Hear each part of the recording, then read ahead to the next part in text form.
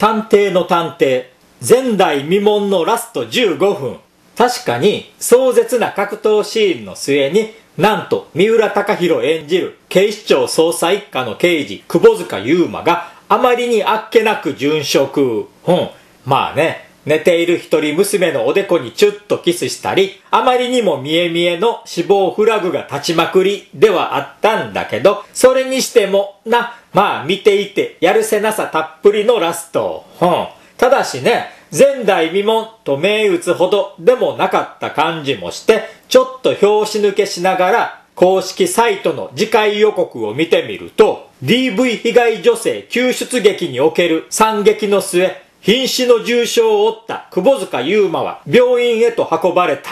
で、あれで死ななかったっていうのは確かに前代未聞かもしれない。ね。うん。まあ、三浦貴大だけにね、ファイト一発で蘇生してしまったのかもしれないし。うん。まあ、とりあえず即死ではなかったようで、まずはめでたしめでたし。ね。うん。で、ところで、改めて窪塚優馬刑事を演じる三浦貴大といえば、1985年生まれ29歳、東京都出身。ご存知、三浦智和、山口百恵夫妻の次男。で、中学高校時代はね、水泳部に所属。そして、順天堂大学時代には、ライフセービング部で、ベーシックライフセーバーの資格を取得。ちなみにね、その時に鍛えた肉体が認められて、ファイト一発のリポビタン D の CM に起用されたそうなんだけど、ね。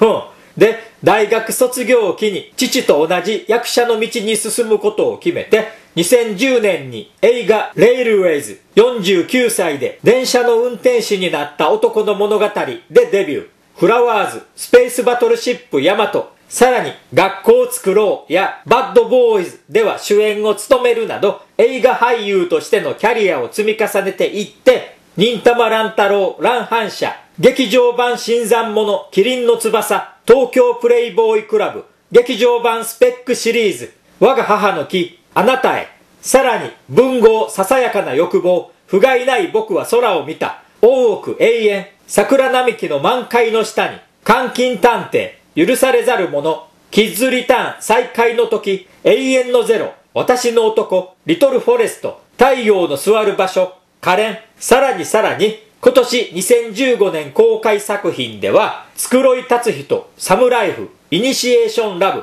種まく旅人、国海の里、お母さんの木、ローリング、そして何かと話題の進撃の巨人ではジャンの役。うん。で、一方ね、テレビドラマの方は意外と少なくて、特に民放の連ドラでは、2013年7月クールの日テレのウーマンくらいがめぼしいところね。なんと意外にもフジテレビの連ドラへは初出演。うん。で、まあそのあたりのことも含め、三浦隆弘自身は今回の役どころに関して公式サイトのインタビューで、フジテレビというのはもちろん、テレビドラマ自体への出演が少ないので緊張しています。出演することの多い映画はほとんどの場合、台本が一冊ですが、連続ドラマは何冊もあるので、先も気になりますし、そこをどう演じていけばいいのかということにも不安を感じていました。窪塚優馬というのは、真面目で熱い男ですが、それだけではなく、レナが仕掛けたトラップを見破ったり、警察に食い込んでくる探偵のアビルに不信感を持ったり、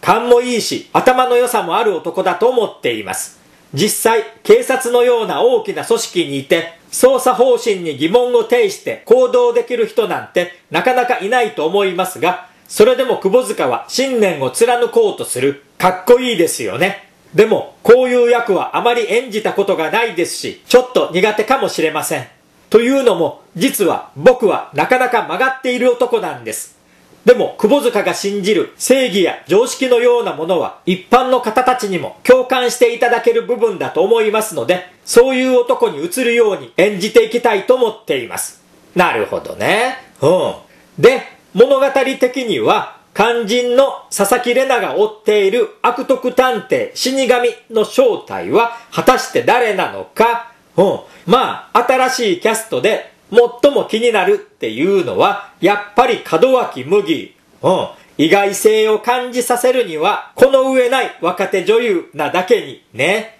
うん。ということで、とにもかくにも探偵の探偵、これからもしっかりと見届けたいと思いますね。はい。